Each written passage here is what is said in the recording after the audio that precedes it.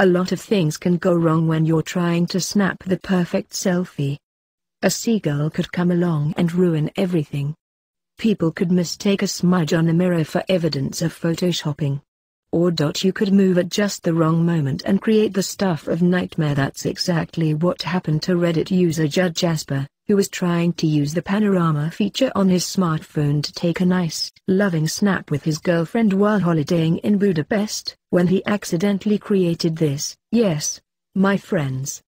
That is, in fact, a woman with two heads. On the same body.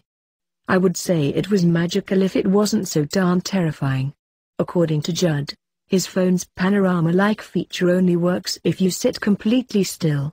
And his girlfriend just happened to sneeze at the exact wrong time. As nightmare-inducing as the image is, in true internet style, it was turned into a joke quicker than, well, quicker than a sneeze can ruin a nice photo me on the inside versus me on the outside when someone makes me take a selfie, one commenter captioned the pic. Others suggested the picture might make a perfect 2017 Christmas card for family and friends. Although we're not sure Aunt Mildred will be too happy about having to display this image on her mantelpiece.